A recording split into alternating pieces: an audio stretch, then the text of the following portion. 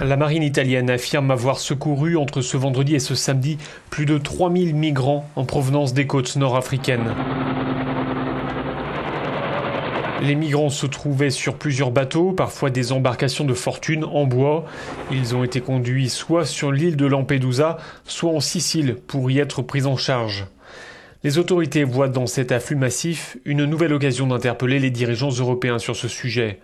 Rome ne cesse de répéter que ce problème de l'immigration clandestine concerne tous les États européens et que cette question est de plus en plus préoccupante. Selon le ministère italien de l'Intérieur, il est arrivé en cinq mois autant de migrants que durant toute l'année dernière, soit 43 000 personnes.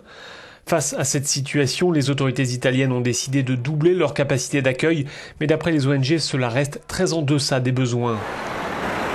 Ces candidats à l'exil sont souvent syriens ou libyens, ils fuient la violence dans leur pays, mais la plupart du temps, ils sont originaires d'Afrique subsaharienne, espérant trouver en Europe une vie meilleure.